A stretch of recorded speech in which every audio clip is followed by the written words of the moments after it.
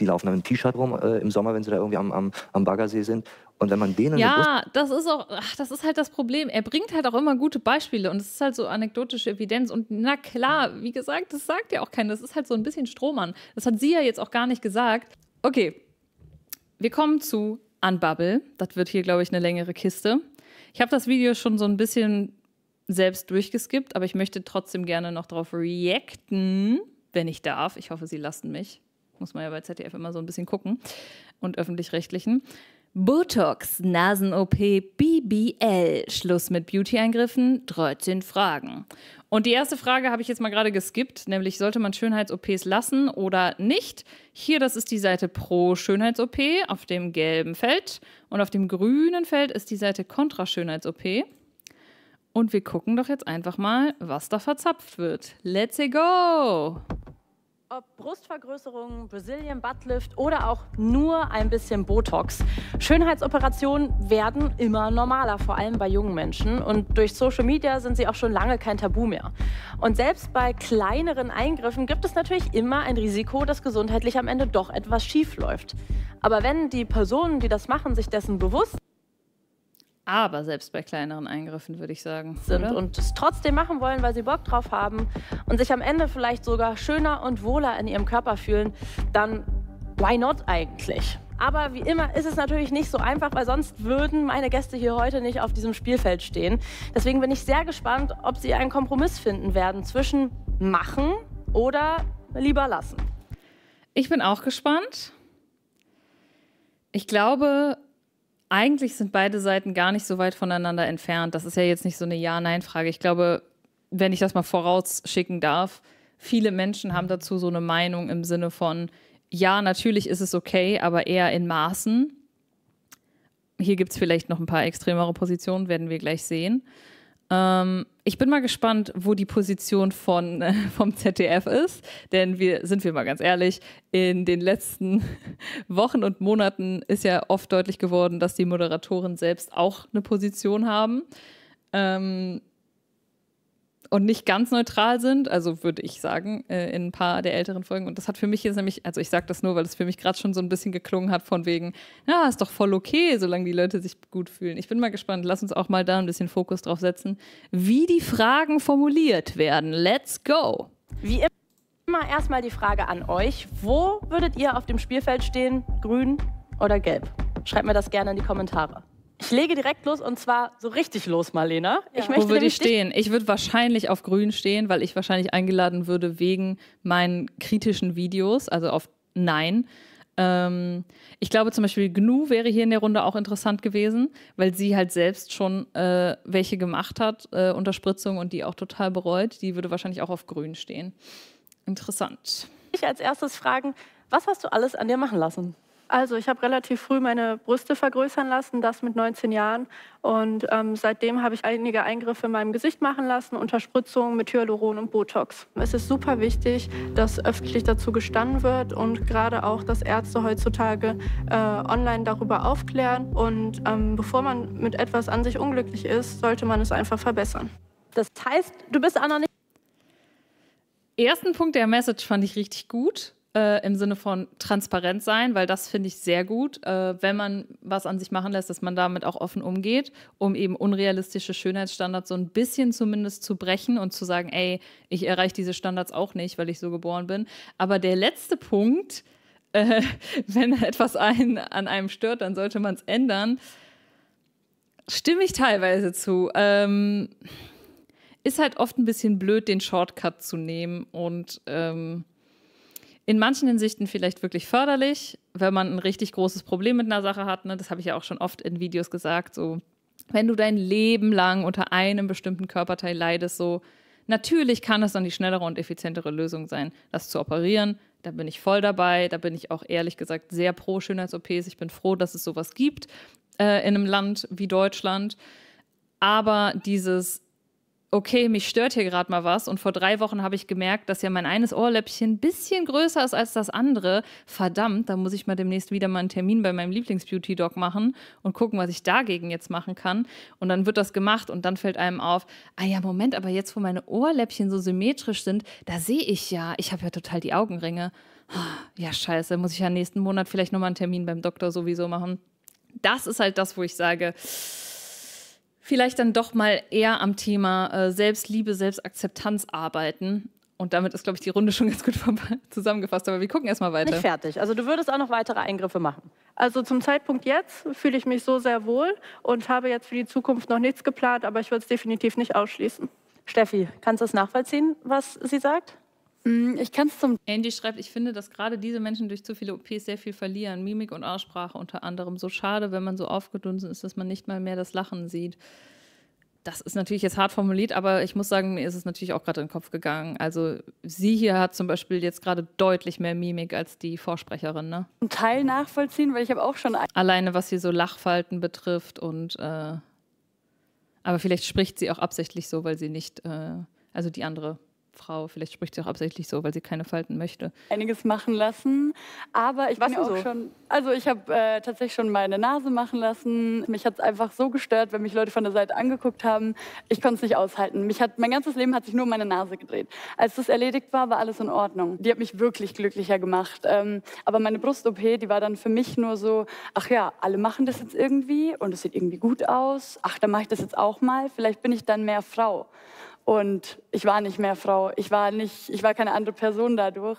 Und ich habe fünf Jahre lang bin ich jetzt mit Rückenschmerzen rumgelaufen. Ähm, mir hat kein Oberteil mehr gepasst. Ich habe mich nicht wohler gefühlt. Ich habe mich mehr unwohl gefühlt. Und deshalb kann ich sagen, es gibt OPs, die sind wirklich fürs Wohlbefinden da.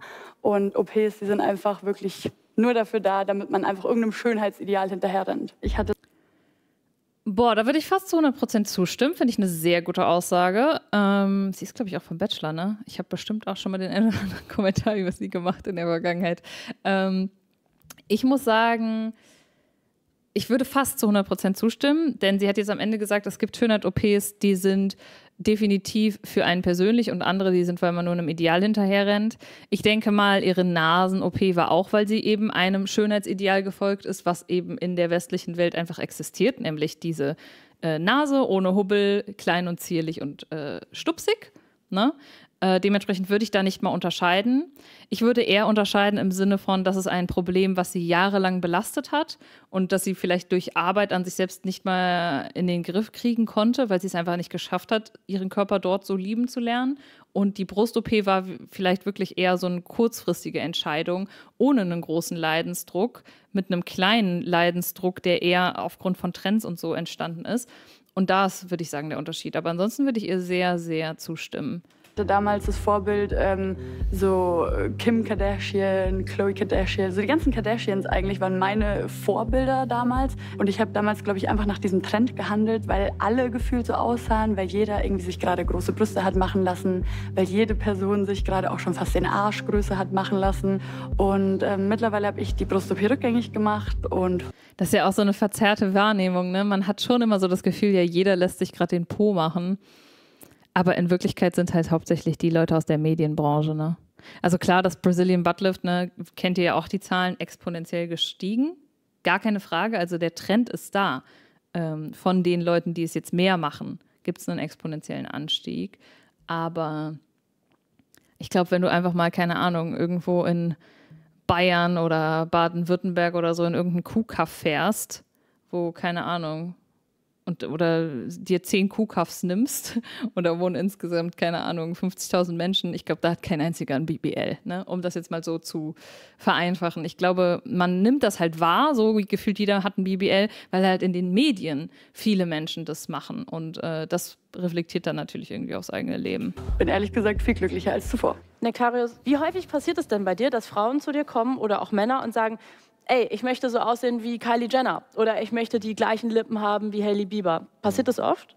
Also wir haben tatsächlich in den letzten Jahren eine deutliche Veränderung in diese Richtung erlebt. Hat sicherlich mit Social Media zu tun, dass die Menschen diese Vorbilder erleben, ständig vorgehalten bekommen durch Swipen und so weiter. Und dann kommen die auch auf einen zu und sagen, genauso möchte ich aussehen. Uh, ich denke, das finde ich gut, dass er da ehrlich ist. Das finde ich toll. Finde ich sehr gut, dass er das auch ehrlich zugibt. Unsere Aufgabe, das äh, entsprechend dann für die, für die Patienten transparent zu machen, zu erklären, wo sind die Limits, wie weit kann man kommen und ist das realistisch überhaupt so eine, so eine die, die Latte eben dahin zu hängen. Also die positiven Seiten.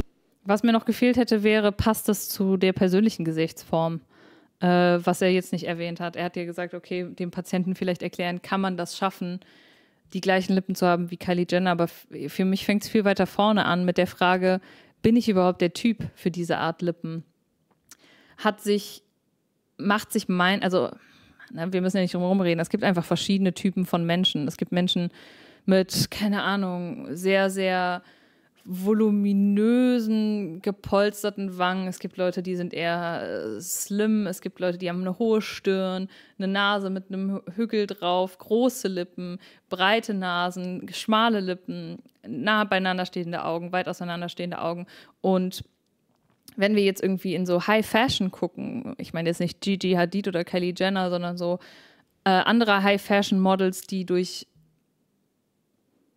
die weniger durch Beziehungen, sondern eher durch ihr extraordinäres Aussehen in die Branche gekommen sind. Und wenn wir zum Beispiel auch im Bereich Schauspiel gucken, dann gibt es ja ganz viele Menschen, die auch Charakter haben und eine Einzigartigkeit, die eben nicht aussehen wie jeder zweite und dritte auf Instagram, eben aus dem Grund, dass man als Charakterdarsteller zum Beispiel in Hollywood-Filmen einen Wiedererkennungswert haben sollte.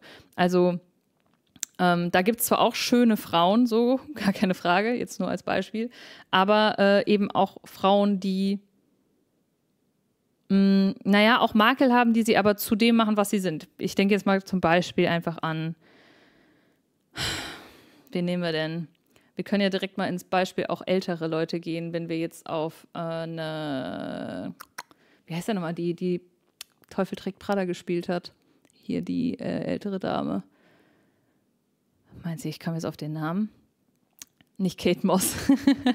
Aber hier zum Beispiel Kate Moss, ja, klar. Überleg doch mal, Kate Moss mit ihren Armen Meryl Streep, genau.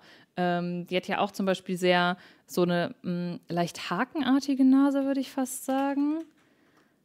Ähm, na, okay, nicht hakenmäßig, aber zum Beispiel, ich finde, das macht bei ihr sehr viel aus, was ihren Charakter betrifft. Ich zeige es euch hier mal gerade.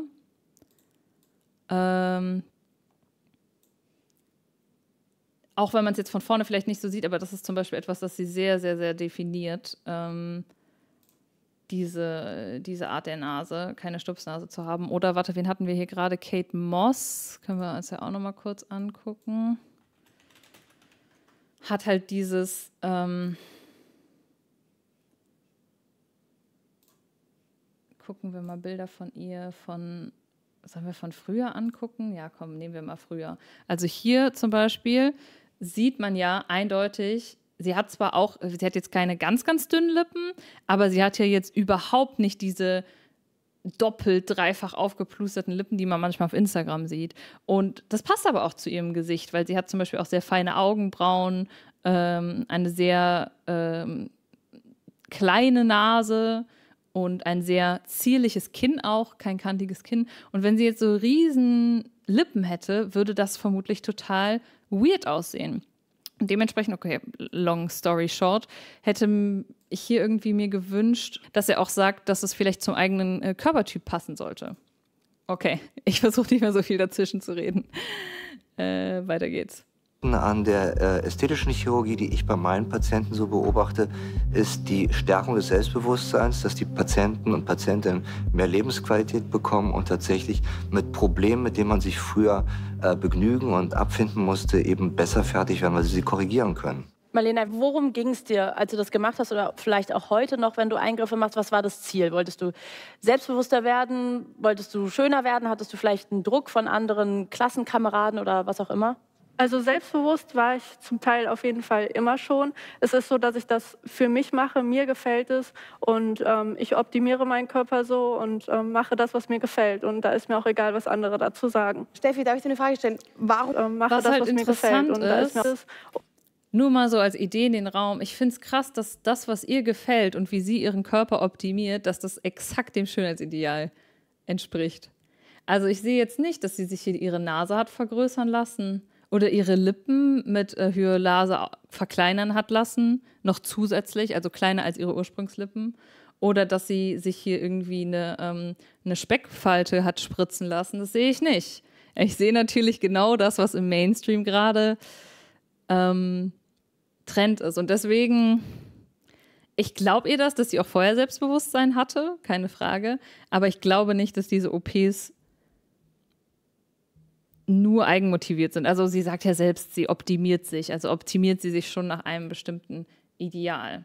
Und ähm, ich optimiere meinen Körper so und ähm, mache das, was mir gefällt. Und da ist mir auch egal, was andere dazu sagen. Also sie optimiert ihren Körper, aber sie macht nicht nur das, was ihr gefällt, sondern sie macht eigentlich das, was allen gefällt, würde ich behaupten. Steffi, darf ich dir eine Frage stellen? Warum stehst du im grünen Feld und sagst, Schönheits-OPs lassen, wenn du selber gesagt hast, es hat dich glücklicher gemacht, deine Nase zu machen? Das verstehe ich nicht weil ich einfach der Meinung bin, dass die meisten Schönheits-OPs einfach aus den falschen Gründen gemacht werden. Und sowas wie eine Nasen-OP, die bei mir hauptsächlich, also die war natürlich nicht nur der Schönheit äh, geschuldet, sondern die war auch der Funktion, ähm, kann ich sagen, das ist für mich nicht nur eine Schönheits-OP. Für mich zählt Schönheits-OPs einfach ähm, sowas wie eine Brust-OP, die ich einfach machen lasse, wo ich sage, ach, ähm, ich mache mir jetzt einfach mal. Das finde ich ehrlich gesagt gerade schwach von ihr argumentiert. 600 Implantate da rein, weil ich sage, ich möchte das jetzt machen, weil ich aussehe wie Kylie Jenner. Wenn ich das. Weil wir wissen ja, jeder Zweite begründet seine Nasen-OP damit, dass es halt auch was äh, Medizinisches war, weil man ja wahrscheinlich auch ein Problem mit der Nasenscheidewand hatte. Äh, so wie ungefähr jeder äh, Mensch. Mm, sie hätte meiner Ansicht nach jetzt sagen müssen, ich stehe hier auf der Seite, weil ich natürlich nicht dagegen bin, grundsätzlich Schönheits-OPs zu machen. Äh, das kann Leidensdruck nehmen, aber ich möchte Awareness dafür schaffen, dass wir in der heutigen Gesellschaft zu vorschnell äh, mit uns unzufrieden sind und schnell was ändern wollen und dass man vielleicht dreimal überlegen sollte, bevor man etwas ändert. Äh, ich glaube, das wäre die bessere Antwort gewesen ähm, richtig verstanden habe, Steffi, trennst du ja zwischen, was macht man aus Wohlbefinden, also weil es vielleicht wirklich eine Last für einen war, ähm, bei dir in deinem Fall war es die Nase, und was macht man aus dem Druck äh, gegenüber Schönheitsidealen. Und genau. deswegen genau. würde mich da nochmal interessieren, kannst du denn bei Marlena... Hat sie gut nochmal zusammengefasst jetzt an der Stelle, die Moderatorin. ...nachvollziehen oder nimmst du ihr das ab, dass sie sagt, dass es sie glücklicher macht? Ich glaube tatsächlich nicht, dass wenn man wirklich in sich reinhört, dass es einen wirklich glücklicher macht. Weil glücklicher macht einen wirklich was, was von innen herauskommt, aber nicht durch eine Schönheits-OP. Ich äh, bin quasi das lebende Beispiel dafür. Ähm, es hat mich wirklich glücklicher gemacht und ich bin so glücklich, dass ich diesen Eingriff gemacht habe und auch Ich wollte jetzt was Gemeines sagen, aber ich sag's nicht. Mit dem Ergebnis. Ich will Sie jetzt auch nicht persönlich angreifen, aber es ist ein bisschen scheinheilig, muss man so sagen. Scheinheilig deshalb, ohne jetzt wirklich äh, äh, provokant sein zu wollen. Soll ich sagen? Ich wollte eigentlich nur sagen, ich kann eigentlich nicht sehen, dass sie glücklich ist, weil sie halt bis jetzt noch nicht gelacht hat. Aber das ist halt, ja, I don't know. Das ist halt auch die Definition von Glück. Ne? Da kann man, das ist jetzt anekdotische Evidenz, können wir nicht wirklich sagen äh, macht es einen glücklicher? Ja, vielleicht hat es sie glücklicher gemacht. Ähm, wie gesagt, ich finde auch gerade blöd, dass es jetzt, also er hat jetzt zu Recht einen Angriffspunkt, weil er jetzt sagen kann, äh, ja, Steffi, du hast so gerade gesagt, hier, das mit deiner Nase ist aber voll scheinheilig. Äh, das ist Voll das Bullshit-Argument, finde ich gerade schade. Eine Nasenoperation kann rein funktionell ablaufen, die lässt dann einen besser atmen, aber das heißt nicht, dass man ein glücklicherer Mensch ist. Ich habe den Eindruck, ich bin eben im Aufzug, bin ich an dir vorbeigelaufen, dass an der Nase ein bisschen mehr gemacht worden ist, als dass lediglich die Nasenscheinwand gerade gestellt worden ist. Und wenn irgendwie ein Höcker abgetragen worden ist oder so und das macht dich glücklich, dann fällt das definitiv in den Bereich der Schönheitschirurgie. Das heißt, die Schönheitschirurgie hat dich glücklich gemacht. Wir sprechen jetzt hier ganz. Ja, und das ist halt das Problem. Hier hätte man sofort differenzieren müssen zwischen, ähm, ja, wie gesagt, Schönheitschirurgie im ursprünglichen Sinne. Ähm, also jetzt mal ganz ehrlich, warum wurde Schönheitschirurgie entwickelt? Vielleicht sollten wir mal darauf zurückkommen. Ähm, ganz ursprünglich, um halt Leute, die richtig, richtig entstellt waren, äh, um denen ein bisschen Alltag zurückzugeben. Also zum Beispiel, keine Ahnung, jemand hat im Krieg eine Granate abbekommen und dann wurde versucht, das Gesicht zu rekonstruieren, sodass die äh, Person nicht komplett in Anführungszeichen entstellt aussieht.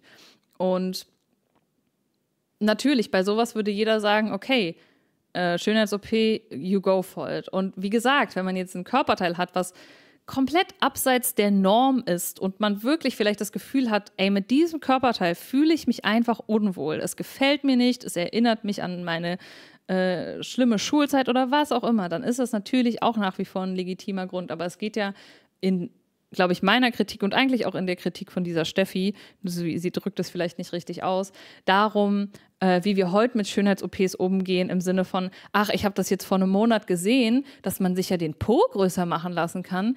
Stimmt, ja, also mein Po, ja, ich habe jetzt noch nie so bewusst drüber nachgedacht, aber der ist schon nicht perfekt, also der könnte auf jeden Fall runder sein.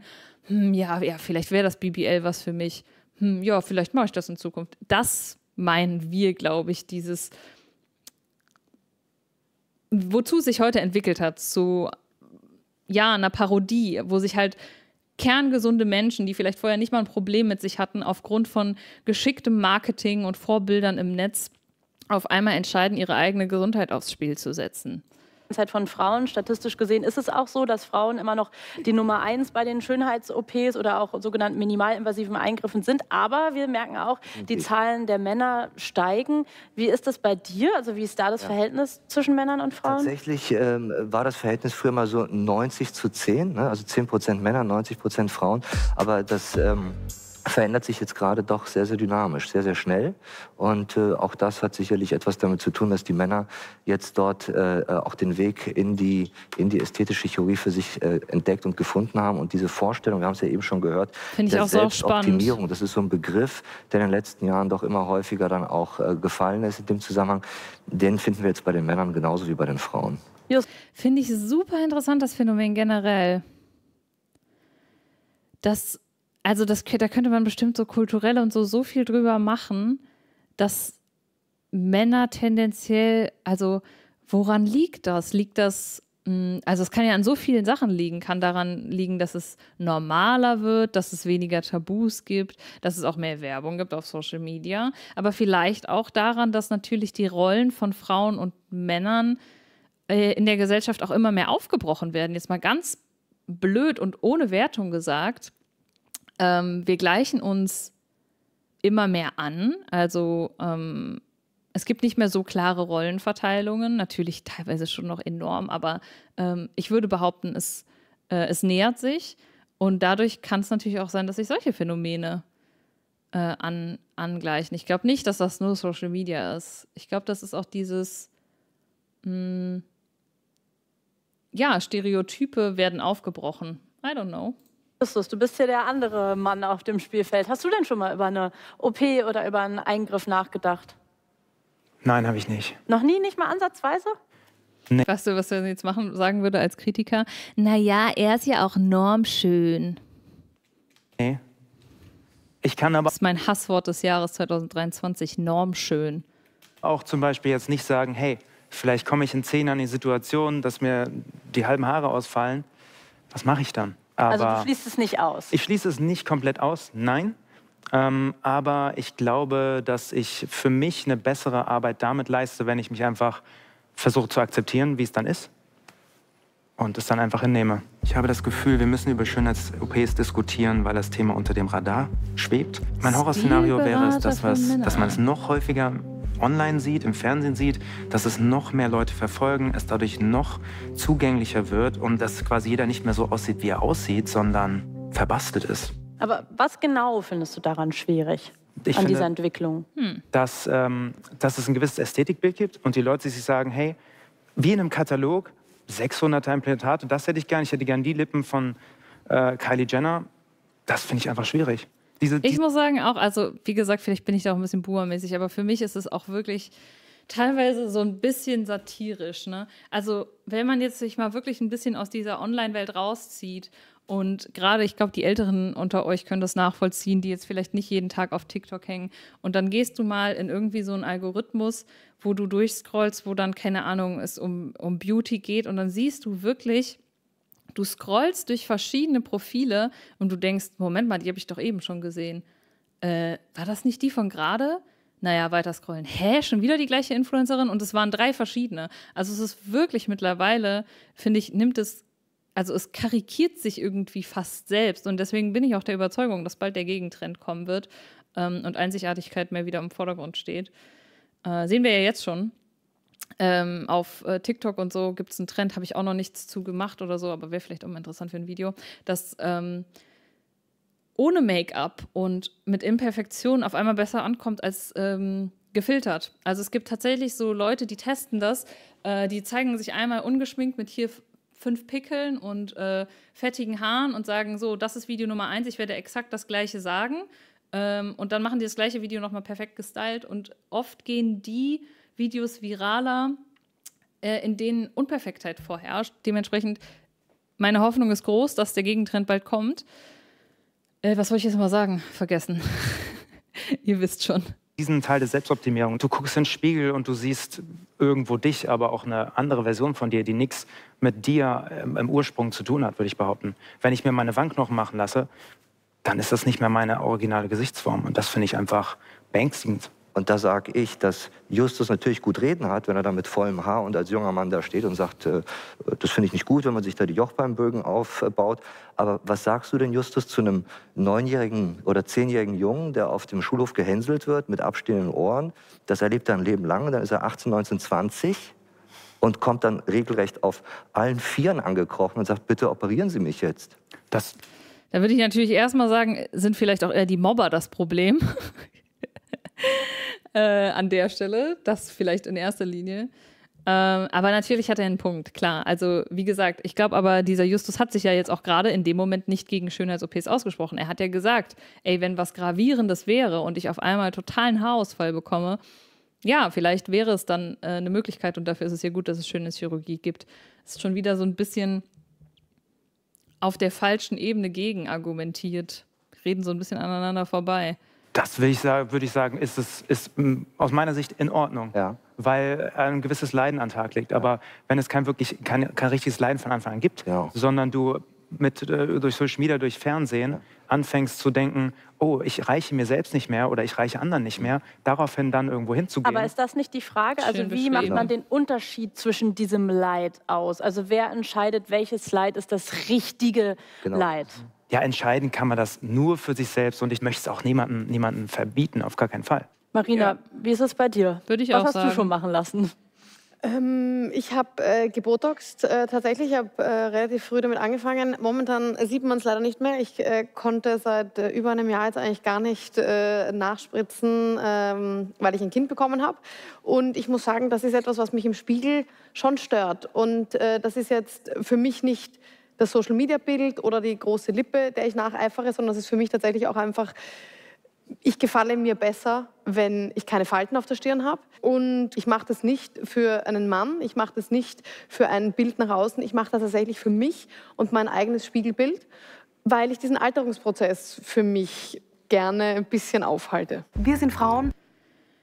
Ist natürlich am Ende wieder das Gleiche. Ich muss natürlich sagen, ich finde, Botox ist nochmal immer so ein Sonderfall, weil es meiner Ansicht nach, was meine Recherchen und so betrifft, wirklich die ist jetzt auch keine ärztliche Beratung hier an der Stelle, ne? aber was die Risiken betrifft und die Langzeitfolgen und so wirklich am wenigsten, glaube ich, sich negativ auswirken kann, um das mal so zu formulieren.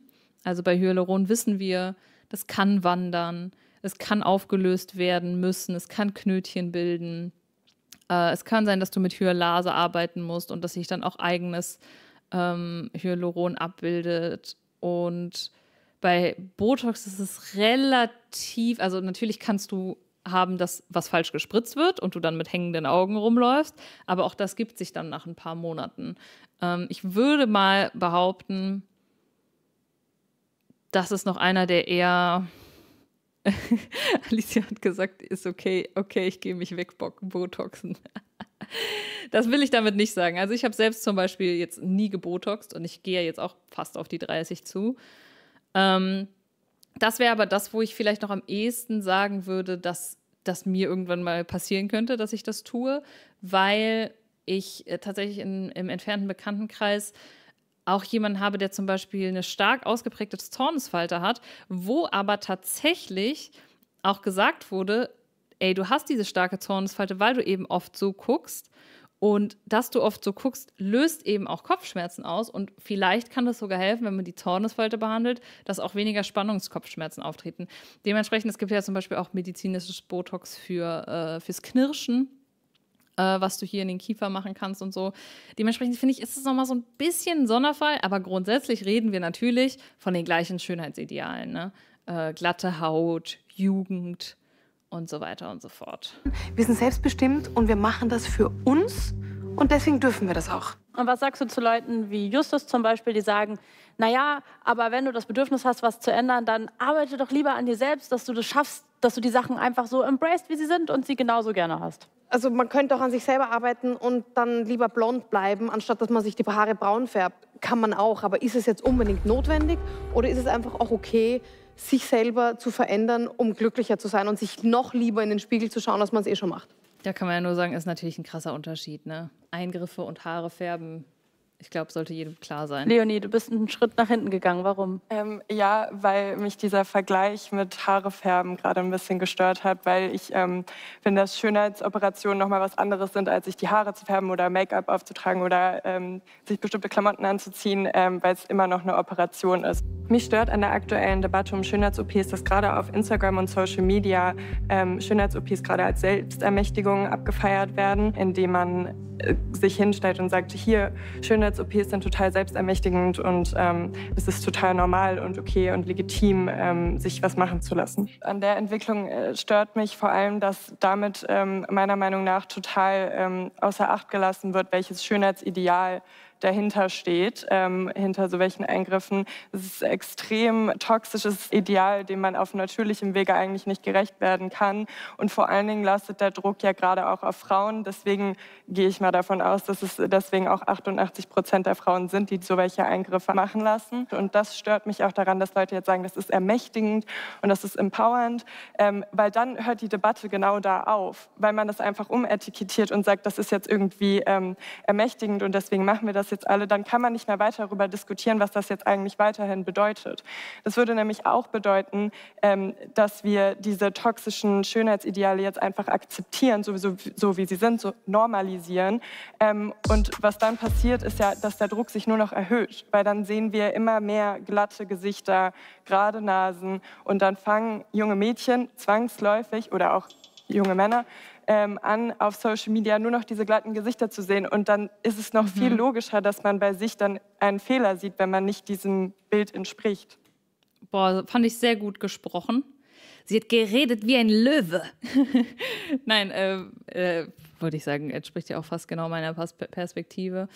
Genau das ist halt das Problem. Ne? Also ich bringe gerne mal ein anderes Beispiel. Stellt euch mal vor, es wäre jetzt auf einmal das Ding ist, mit Lippen und so sind wir immer so, wir, wir, kennen das und wir sind so in unserem Trott gefangen, dass das für uns nicht komisch wirkt, weil wir einfach keine Aliens sind, sondern wir sind in dieser Gesellschaft groß geworden. Äh, und große Lippen und so, diese Schönheitsideale kennen wir. Aber sagen wir jetzt mal, es gäbe ein absurdes Schönheitsideal, weil auf einmal würden alle großen Models dieser Welt und in der Vogue und in der Cosmopolitan und so, überall würde man sehen, wie sich Leute zum Beispiel den kleinen Finger amputieren und nur noch vier Finger haben. So. Ganz weirdes Beispiel, um mal was zu erklären. Ne? Oder okay, das hat vielleicht zu viel Funktion, aber sagen wir mal nur die Fingerkuppe, sodass man es trotzdem benutzen kann, aber es wäre jetzt so ein Trend, die Fingerkuppe zu kürzen. Und überall würde man das auf einmal sehen. Ähm, und es würde, keine Ahnung, in jedem zweiten Plakat siehst du Frauen, die das haben und ähm, auf einmal fangen Männer im Fernsehen an zu reden und sagen, wow, ja, ich finde es so sexy, wenn Frauen diese Fingerkuppe, wenn es weg ist, oh, genau mein Type und so. Und dann würden Frauen auf einmal anfangen, zum Schönheitsdoc zu rennen und das zu machen. Und dann wird gesagt, ja, hä, nein, das ist selbstbestimmt. Die Frauen entscheiden das selbst. Ihnen gefällt das besser. Wenn sie sich selbst im Spiegel gucken, dann gefällt ihnen das besser. Ihr Mann hat denen das nicht gesagt. Nee, nee, nee. Das ist nicht, weil die für andere schön aussehen wollen. Nein, nein, wenn die selbst in den Spiegel gucken, dann gefällt denen das besser. Was vielleicht legitim ist, weil es sich so verfestigt hat. Aber genau das, was sie eben gerade gesagt hat, es lenkt halt von dem Problem ab und von dem gesellschaftlichen Trend und von dem gesellschaftlichen Druck, sich Schönheitsidealen zu beugen, wenn wir jetzt auf einmal sagen, nee, nee, das ist alles Selbstbestimmung. Es sollte zumindest, zumindest die Debatte noch geben. Ne? Es will keiner Schönheitsoperation komplett verbieten. Gar keine Frage und das ist auch nicht meine Intention. Aber es ist dieses, hm, wir fragen uns alle mal, wie sehr brauchen wir das und wie sehr sind wir vielleicht auch fremdbestimmt, wenn wir das machen. Marina, was sagst du dazu? Trägst du dazu bei, dass solche Schönheitsideale sich noch weiter normalisieren? Ich trage dazu bei, dass Frauen sich selbst gestalten können. In der Bekleidung. das, dazu trage ich bei äh, in meiner Mode, in meiner Berufung in der Modeindustrie. Und warum kann man selbst als Frau nicht zum Beispiel, also für mich ist es so, ist der nächste Schritt, Frauen dürfen kein Pink mehr tragen, Frauen dürfen keine Trendfarben. Wo, hört die, also wo ist die Grenze, ob man jetzt den Trend des Schönheitsideals im Gesicht konsumiert oder den Trend der Kleidungswahl? Kann man auch drüber reden. Ich glaube, da wird nur nicht so aufbrausend drüber geredet, weil da erstmal sich grundsätzlich niemand bei äh, unter das Messer legt und sowas alles. Aber natürlich kann man da auch total drüber reden. Wir können zum Beispiel gerade bei Kleidung über Konsumkritik reden. Ähm, wieso ist es eigentlich normal und wieso ist es eigentlich fast gewollt, dass man Markenkleidung trägt, dass man äh, jeden Tag ein anderes Shirt zur Arbeit trägt, weil wenn man zweimal das gleiche hintereinander trägt, weil die Arbeitskollegen dann schief gucken und so, da kann man genauso drüber diskutieren. Ist halt nur jetzt gerade nicht das Thema. Ihr seht super trendy aus. Das ist jetzt nicht so, dass ich sehe, das sind zwei Damen, die haben sich keine Gedanken gemacht, was sie heute anziehen. Aber Leonie, das ist für mich möchtest, Selbstbestimmung. Möchtest du da direkt mal darauf antworten? Ja, ich glaube, so von Trends ähm, kann sich niemand wirklich frei machen, äh, auch ich nicht. Aber ich finde, da ist trotzdem noch mal ein Unterschied, ob ich modischen Trends folge und für mich entscheide, was ich trage, in was ich mich wohlfühle. Ich finde, Klamotten gerade sind auch eine Form des Selbstausdrucks, also wie ich mich äh, in der Welt ah. präsentiere, ah. wie ich darstellen möchte in der Welt und wie ich mich Hört wohlfühle. weiter zu, ich wechsle den Aber das sage ich Marlena. Obwohl, nee, ich muss kurz stoppen. Selbstausdruck? Oh, ich, möchte nicht für dich sprechen, Nein, aber ich habe das Gefühl, Marlena Selbstausdruck ist genau die Kunstfigur auch, die sie erschaffen hat und sich zu so einem Aussehen äh, gestaltet hat. Richtig, ja. Aber wenn sie in fünf Jahren sagt, das gefällt mir vielleicht gar nicht mehr, dann kann sie nicht einfach wieder die Klamotte ändern. Also sie kann schon was ändern, also so ist nicht. Sie ja. kann die, die, Lippen wieder auflösen lassen, sie könnte die Nase, also das ist nicht richtig, aber tatsächlich ist es nicht so einfach, wie wenn man jetzt einfach mal die Trendfarbe grün ablegt im Kleiderschrank und sagt, ich wechsle jetzt wieder zu, ja, zu ich wollte gerade sagen, ne, fragt mal Gnu, also man kann, wenn Gnu jetzt hier gestanden hätte, hätte sie bestimmt gesagt, nee, ist eben nicht so, ich hatte Hyaluron in den Lippen und ich habe es auflösen lassen und seitdem habe ich viel weniger Volumen. Also ist halt nicht so einfach zu ändern. Und gerade wenn du zum Beispiel eine Brust-OP hattest, du hast halt für immer Narben und so. Ne?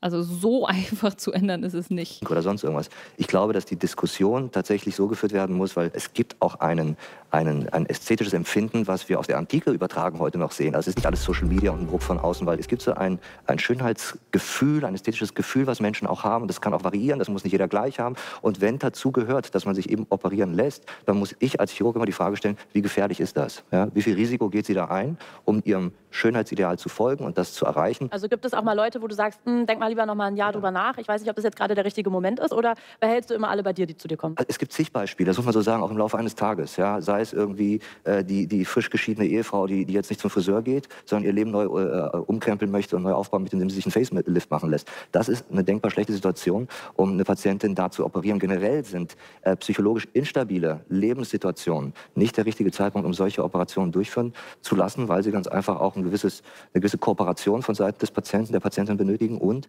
weil eben die freie Entscheidungsfindung da nicht wirklich gegeben ist. Und wenn du ja, das ist ja gut. Wenn Ärzte das wirklich so machen, ähm, hoffe ich jetzt einfach mal, dann wäre es Respekt an ihn. Aber ne, wir kennen ja meine Lieblings-TikTok-Ärzte. Äh, wie nenne ich sie? Äh, äh, Big und Dick. Nein, oh mein Gott, ich wollte nur nicht Rick und Nick sagen.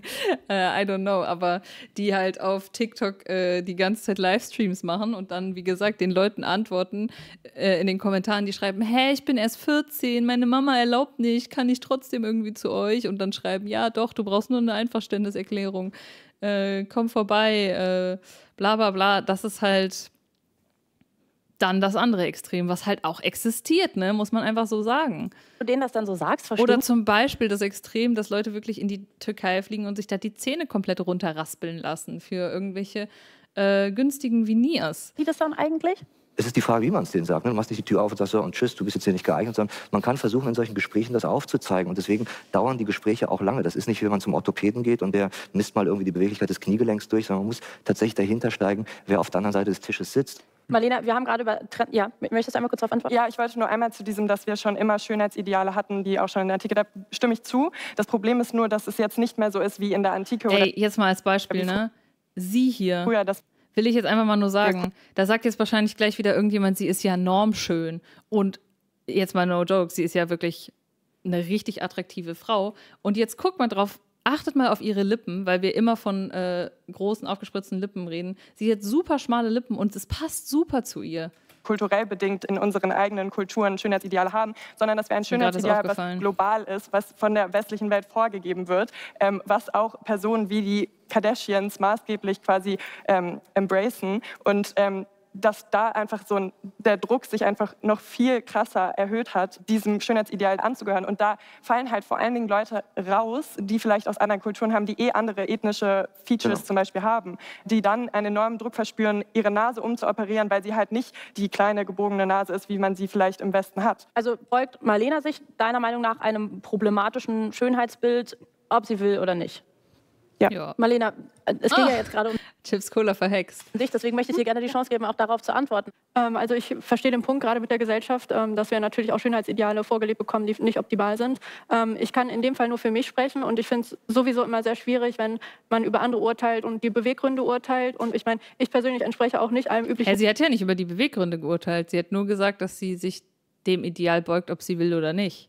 Also wenn das Ideal halt große Lippen und kleine Nase ist und sie lässt sich das operieren, dann ist das halt so. Also das ist ja jetzt nicht, geht nicht um die Beweggründe. Ein Schönheitsideal. Ähm, man sieht es nicht, aber ich bin auch im ganzen Körper tätowiert. Also ähm, ich mache das wirklich für mich und ich stehe auch zum Teil in der Öffentlichkeit und ich kriege auch sehr, sehr viel Kritik dafür. Das denkt man vielleicht nicht. Aber es ist jetzt nicht so, äh, dass das was ist, was die Leute so hinnehmen und das finde ich auch nicht so schön. Was sagt ihr denn? Kann man Schönheits-OPs einfach nur für sich machen oder macht man es am Ende dann doch, um einem gewissen Schönheitsideal zu entsprechen? Schreibt das gerne mal in die Kommentare. Ich wollte gerade auch noch mal sagen, ich verurteile niemanden und ich verurteile auch nicht dich dafür, dass du das gemacht hast gemacht hast. Und ich glaube dir auch, wenn du sagst, ich habe das nicht wegen einem bestimmten Schönheitsideal gemacht. Das, darum geht es mir jetzt gar nicht.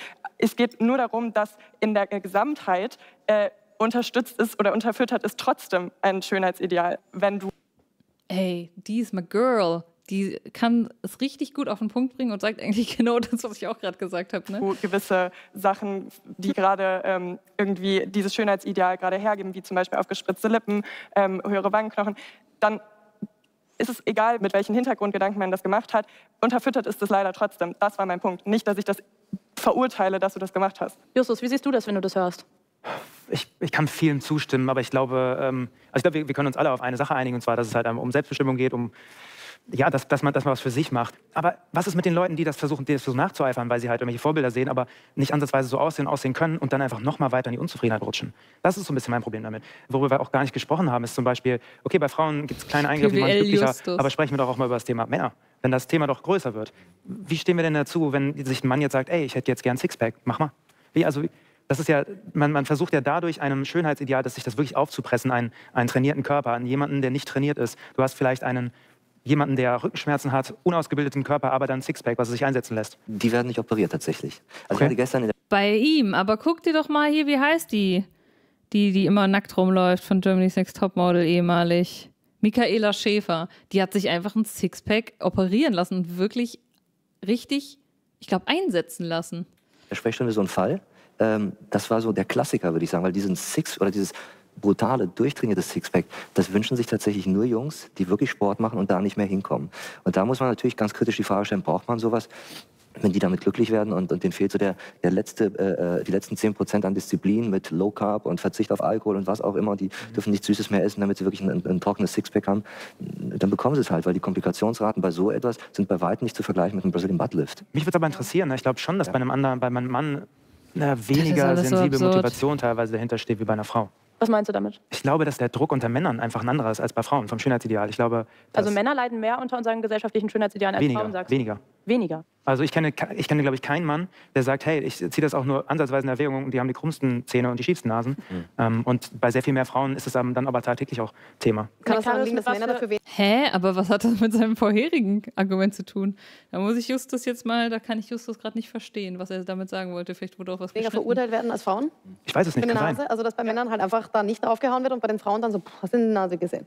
Und bei dem Mann wird halt nicht gesehen. Bei dem Mann wird halt viel Makel akzeptiert, der eigentlich kein Makel ist, der bei Frauen wiederum nicht akzeptiert wird. Was machen denn die Männer bei dir, wenn die zu dir kommen? Das sind, Fettabsaug das sind Fettabsaugungen, das sind allerdings auch Eingriffe, die, die den Intimbereich äh, betreffen. Ja, also das, wo es wirklich wie bei den Frauen bei der Brustchirurgie, bei den Männern sozusagen, in den Bereich hineingeht, wo man sagt, da ist die Männlichkeit äh, zu finden, da ist, ist, äh, kann man mit Fett aufbauen und Fettspritzen, mit Hyaluronsäure äh, den Intimbereich aufbauen. Das sind alles Dinge, die mittlerweile auch die Männer für sich einfordern. Es, es ist ja nicht nur, dass, dass, wir, dass wir als Männer irgendwie ein, ein, ein äußeres Bild erfüllen müssen. Das, die Männlichkeit ist ja für viele junge Männer auch das, was sie im Intimbereich mitbringen. Die gehen unter die Dusche und dann sehen sie irgendwie andere Jungs und dann fangen da vielleicht die Hänseleien an oder so. Ich finde, man sollte das auch nicht irgendwie wegkichern, sondern es ist auch ein ernstzunehmendes Phänomen. Aber Frauen werden ja viel öfter auf ihr Aussehen reduziert. Und ähm, deswegen ist da ja also deswegen ist das in so einem Ungleichgewicht. Da ist einfach keine Gleichberechtigung auf dem Sinne, dass Frauen viel öfter für ihr Aussehen diskriminiert und verurteilt werden als Männer. Und dadurch entsteht natürlich auch für Frauen ein viel größerer Druck. Und wenn, ich glaube, da sind die auch alle auf einer Seite, oder? Sie das dann aber machen und sich dem fügen oder ein vermeintliches Opfer davon werden, dann gibt es ja auch wieder eine Gruppe von Menschen, da zähle ich dich dazu, die diesen Druck ausübt, zu sagen, nee, du musst dem standhalten, du musst dich so gut finden, wie du bist. Also es ist, ist ja auch da wieder ein doppelter Druck, der auf Frauen lastet, Nee, finde ich nicht. Da muss ich sagen, kann ich die Moderatorin gerade nicht verstehen. Ähm also ich verstehe natürlich, was sie meint, aber der Druck, der vermeintlich, also der ist natürlich da. So, du kriegst als Frau von außen immer dieses äh, vorgespielt, vorgespiegelt auch, du äh, solltest jung und schön und hübsch sein. Aber natürlich kann man es dann scharf kritisieren, diesem Druck nicht standzuhalten, ist vielleicht der falsche Ausdruck. Aber ich finde schon, dass doch das Ziel eher sein sollte, gerade als Frauen, wie gesagt, die darunter leiden, sich dafür stark zu machen und äh, irgendwie verschiedene Role Models in die Welt zu bringen und aber auch sich, das müssen wir auch ganz ehrlich sagen, nicht selbst so sehr den Druck zu machen, weil man sucht sich ja auch irgendwie immer die Vorbilder, die ideal sind. Wie gesagt, guckt mal, äh, haltet mal in ein paar Serien und Kinofilmen nach Frauen Ausschau, die nicht dem Ideal-Ideal äh, entsprechen und eifert doch vielleicht eher denen nach, weil die sind ja auch erfolgreich und, äh, und äh, keine Ahnung, begehrt und was auch immer. Ähm, dementsprechend finde ich, kann man das schon kritisieren. Ich weiß nicht, ob ich das jetzt gut formuliert habe. Da muss ich mir nochmal überlegen, wie ich das besser formulieren kann. Den Männer ja gar nicht haben. Also ist das dann nicht unfair, auch eine Erwartung, die du dann zum Beispiel an Frauen hast, dass man zweimal stärker sein muss als die Männer? Ja, ich kann verstehen, was du siehst. Ich würde trotzdem nochmal betonen, dass ich jetzt niemanden, ich verurteile niemanden dafür, wenn sich jemand operieren lässt und sage auch nicht so, du hättest. Aber du hast die Erwartung ja schon, dass es das Best-Case-Szenario war. Das das, dass du die Leute nicht verurteilst, das ist, glaube ich, klar geworden. Ja, klar ist das das Best-Case-Szenario, so logisch. Natürlich ist es logisch das Best-Case-Szenario, wenn du es schaffst, dem Druck standzuhalten von einer fucking konsumgetriebenen Gesellschaft im Kapitalismus, dein eigenes Ding zu machen und gesund mental und physisch bist. Natürlich ist das das Best-Case-Szenario. Ich erinnere nochmal an den kleinen Finger, äh, den wir uns wegoperieren lassen natürlich kann man dann sagen, ja, aber die Frauen, die leiden unter dem Druck, äh, dass es aktuell ein Ideal ist, dass man keinen kleinen Finger mehr hat. Äh, aber natürlich ist es besser zu sagen, ey, lasst doch einfach als Frauen aufstehen und sagen, wir scheißen auf euren gesellschaftlichen Druck und wir nehmen den Druck jetzt weg aus dieser Welt. Natürlich ist es das Best-Case-Szenario. Naja, ich möchte nur, dass das irgendwie nicht ähm, nicht so normalisiert wird. Also dass nicht einfach gesagt wird, das ist ähm, so, da müssen wir nicht weiter darüber reden, dass da ein Schönheitsideal irgendwie im Raum steht. Das ist irgendwie jetzt völlig normal und für mich persönlich auch, dass es irgendwie ermächtigend ist. Aber Marina, würdest du sagen, dass Frauen machen können, was sie wollen und am Ende wird ihnen immer wieder das vorgeworfen, dass sie Opfer sind von männergemachten Schönheitsidealen und ja selber gar nicht wirklich wissen, was sie da machen? Ich sage nicht, dass das Frauen immer vorgeworfen wird. Ich sage, ich möchte, dass Frauen machen können, was sie wollen, ohne dass irgendwer was dazu zu sagen hat. Nämlich weder andere Frauen noch andere Männer noch die Gesellschaft. Dafür möchte ich einstehen. Seien das Operationen, sei es das Make-up, seien das Trends. Ich stehe für Selbstbestimmung. Und ich finde es eben nicht feministisch zu sagen, Frauen sollten das und das nicht machen, weil wir machen das ja nur, um den Männern zu gefallen. Dann macht man eine Frau kleiner, als sie eigentlich ist. Leon ja, ich weiß voll, was sie meint und ich stimme ihr auch sehr, sehr doll zu. Ich bin auch für Selbstbestimmung deswegen zum Beispiel wäre ich niemals dafür, dass wir irgendwas regulieren. Also natürlich lebensbedrohliche Eingriffe wie Brazilian Buttlift und so. Können wir mal drüber sprechen, ob man das ärztlich reguliert. Aber ich bin voll dafür, dass wir in einem Land leben, wo jeder jede Operation machen kann, wo auch jede Frau sagen kann, ich operiere mir jetzt die Nase, die Ohrläppchen oder den linken Zeh und ich muss dafür auch nicht irgendwie, äh, keine Ahnung, ein Gutachten oder so bekommen. Nein, ich kann einfach selbstbestimmt dahin gehen und das machen. Finde ich super. Ich möchte da bleiben. Ich möchte nur einfach mit euch diskutieren über die intrinsische Motivation, über gesellschaftliche Trends und über die Idee, ob es nicht auch manchmal gut sein könnte, sein eigenes Streben nach Schönheit mal zurückzustellen, sich wieder auf Gesundheit zu fokussieren, zu appreciaten und zu wertschätzen, wie schön es ist, gesund zu sein, ohne Operationen zu brauchen. Und ich will einfach nur, dass da nochmal doppelt drüber nachgedacht wird und dass vielleicht, wie gesagt, das würde ich on top sagen, dass man darüber nachdenkt, wie Schönheitsoperationen im Netz beworben werden, dass man darüber nachdenkt. Da würde ich schon sagen, braucht es Reguli Regularien. Also es kann nicht sein, dass im Internet äh, Schönheitsoperationen angepriesen werden können, noch und nöcher mit Vorher-Nachher-Bildern und das ist so toll und man braucht nur so, so lange, um zu heilen und in keinem einzigen Satz irgendwie auch nur ein einziges Risiko erwähnt werden muss. Das kann nicht sein. Also wenn jemand eine OP bewirbt, muss er im gleichen Zug auch sagen, finde ich, die schwerste Komplikation kann sein, dass die Nase abstirbt oder was auch immer. Ne? Ihr wisst, was, was, ich, was ich meine. Also das meine ich im Sinne von Regulation, aber ich bin trotzdem total dafür, dass jeder frei und selbstbestimmt machen kann, was er will und dass auch sie hier sich komplett nach einem Schönheitsideal modellieren kann. Gar keine Frage, aber ich möchte, dass wir auf jeden Fall darüber reden können, ähm, was das mit der Gesellschaft macht, wenn sich jeder diesem Schönheitsideal beugen würde und auch vielleicht Kritik daran üben. Weil wir sind ja, wie gesagt, ein freies Land. Toni, sollten wir aufhören, Frauen zu sagen, wie sie ihr Äußeres zu verändern haben oder nicht? Und vielleicht auch mehr in Betracht ziehen, dass sie das aus einer Selbstbestimmung heraus machen? Ich glaube, das ist so die Trick-Question irgendwie dabei. Ja. Also ich, ich sehe den Punkt auch total. Ähm, mein Problem damit ist immer, ich frage mich, wie selbstbestimmt ähm, sowas dann ist, wenn ein 14-jähriges junges Mädchen auf Social Media suggeriert bekommt, dass sie ähm, nicht mit sich und ihrem Körper zufrieden sein kann, weil sie nicht so aussieht wie alle anderen diese Mädchen, die dann ähm, als schön gelten. Ähm, und ob es nicht halt feministisch ist zu sagen, wir kämpfen dafür, dass wir uns davon befreien können ähm, und wirklich selbstbestimmt handeln können. Also ohne diesen Druck zu verspüren, ohne dass wir eingeordnet werden in schön und nicht schön und ja. wertvoll und nicht wertvoll. Darum und das ist natürlich, also, also natürlich ist das eine Utopie das werden wir nie erreichen, diesen Punkt. Also ich schätze mal zumindest nicht mehr in meinem und eurem Leben. Natürlich ist das eine Utopie, aber den Regler ein bisschen zurückzuschrauben, das wäre meines Erachtens schon das Ziel. So dass man sich eben nicht mehr überlegt, ach ja, ich habe Mittagspause, oh, da gehe ich doch in der Mittagspause eben Hyaluron in meine Lippen machen.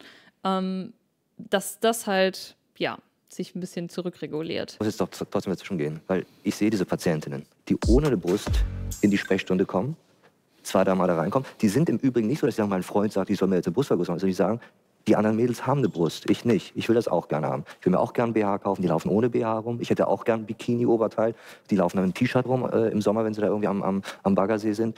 Und wenn man denen. Ja, das ist auch, ach, das ist halt das Problem. Er bringt halt auch immer gute Beispiele und es ist halt so anekdotische Evidenz. Und na klar, wie gesagt, das sagt ja auch keiner. Das ist halt so ein bisschen Strohmann. Das hat sie ja jetzt auch gar nicht gesagt, dass sie möchte, dass junges Mädchen, was total darunter leidet, dass sie keine Brüste hat, dass die jetzt auf gar keinen Fall sich unter keinsten Umständen das operieren darf. Das will doch keiner. Ähm, und dementsprechend ja, es ist so ein bisschen Strohmann-mäßig. Ne? Es ist kein Vergrößerung richtig macht, dass man eben tatsächlich die Risiken aufzeigt, in einer vernünftigen Größe, die zu den Körperproportionen passt, bleibt. Gerade bei so jungen Frauen, die sich auch körperlich noch entwickeln. Dann macht das was mit diesen Frauen. Und die gehen ganz anders und selbstbewusst wieder zurück ins Leben nach der Operation. Deswegen kann ich diesen Punkt nicht verstehen. Sorry. Also ich verstehe es, dass, dass du für dich das jetzt so siehst, aber du siehst diese Mädels nicht. Ich sehe diese Mädels, die kommen. Wie gesagt, es ist ein Strohmann. Sie hat am Anfang schon erwähnt, dass sie das nicht verurteilt, wenn einzelne Personen das machen. Sie hat gesagt, sie möchte diesen gesellschaftlichen Trend und dieses, wir sehen etwas auf Social Media, vergleichen uns damit und sind deswegen äh, unglücklich. Das möchte sie zurückdrehen. Sie möchte aber nicht dem 14-jährigen Mädchen, das komplett verzweifelt ist und mit ihrer Psyche am Ende und äh, seit fünf Jahren über ihre nicht vorhandenen Brüste nachdenkt, was mit 14 keinen Sinn macht, sagen wir mal 17 oder 18, äh, diese OP verweigern. Das, das will sie gar nicht. Und dementsprechend, ich glaube, diese beiden Seiten stehen eigentlich näher aneinander, als sie denken zu mir in die Sprechstunde. Und ich war so ein Fall. Also es ist genau das, äh, was du gesagt hast. Das habe ich durchgemacht und durchlebt. Und ich kann das nur bestätigen. Steffi, ist es nicht uncool, dass eine Person wie Marlena sich die ganze Zeit rechtfertigen muss dafür, dass sie diese Operationen und Eingriffe durchgeführt hat, obwohl sie selber sagt, ich habe das selbst, selbstbestimmt gemacht und ich bin glücklicher damit? Wenn sie das für sich ja so entscheidet, dass es das für sie der richtige Weg ist, dann darf sie das auch ruhig so entscheiden. Was ich nur finde, ähm, mein Aufklärungsgespräch war einfach nicht gut. Und deswegen finde ich, einfach müsste man da gucken, dass man bessere Chirurgen oder dass man da irgendwie ein bisschen transparenteres System irgendwie findet, damit die Leute einfach nicht so leicht an diese OPs rankommen. Weil ich habe super leicht geschafft, dass ich zweimal hintereinander in nicht mal einem halben Jahr eine Brust-OP habe machen lassen, also eine Brustvergrößerung. Und das sollte nicht so gemacht werden. Also, ich glaub, also dass sie einmal vergrößert lassen und dann nochmal genau, Die erste Brustvergrößerung und dann die zweite damals und das mit Anfang 20. Und ähm, das war wahrscheinlich nicht mal der vorgegebene Rahmen, in dem man das äh, medizinisch machen sollte. Und ich glaube, ähm, es müsste einfach mhm. besser kontrolliert werden. Nektarius, wenn du das hörst, schüttest du deinen Kopf über deine ja. Kollegen und denkst nee, dir, um Gottes nee, Willen, was also habt ihr denn da gemacht? Sorry, ich glaube, sie polarisiert jetzt auch ein bisschen, weil sie steht auf dem grünen Feld und nicht auf dem gelben Feld. Ähm, es ist sicherlich schlecht gelaufen, so wie ich das jetzt raushöre, aber das ist nicht im, im deutschen Durchschnitt so die, das, das übliche Prozedere. Ich habe ja? das schon oft auch so mitbekommen, deswegen... Ja. Lass mich ganz kurz aus, ich erkläre es. Also es ist so, dass mittlerweile die, die Schönheitschirurgie oder so die, die ästhetische Chirurgie als Leistung ja in der Breite der Gesellschaft angekommen ist. Ja, das muss man so sagen. Das heißt, dass jetzt nicht irgendwie zuerst da ästhetische Chirurgen waren, die gesagt haben, wir wollen euch jetzt alles was verkaufen, sondern der Markt hat sich entwickelt und aufgrund dieses Bedarfs haben sich dann eben die Dienstleister dort aufgestellt. Und dass es da auch schwarze Schafe geben kann, das ist ja selbstverständlich, das weiß man. Tatsächlich glaube ich allerdings, dass man diese Social-Media-Geschichte nicht unbedingt verteufeln muss, sondern es kann durchaus dazu beitragen, dass man eben auch Transparenz schafft und sagt, guck mal, hier bei uns machen wir das so und wenn du zu mir kommen möchtest und möchtest Hyaluronsäure bekommen oder Botox, dann musst du trotzdem, musst du trotzdem einen Beratungstermin bezahlen, der kostet was. Und wenn es um das Thema Brustvergrößerung geht, gerade auch in dem Segment so mit Anfang 20, da bedarf es mindestens eines einstündigen Gesprächs dann gibt es nochmal eine, eine Konsultation. Ja, jetzt verliert es sich irgendwie ein bisschen zu sehr in Einzelfällen, muss ich sagen.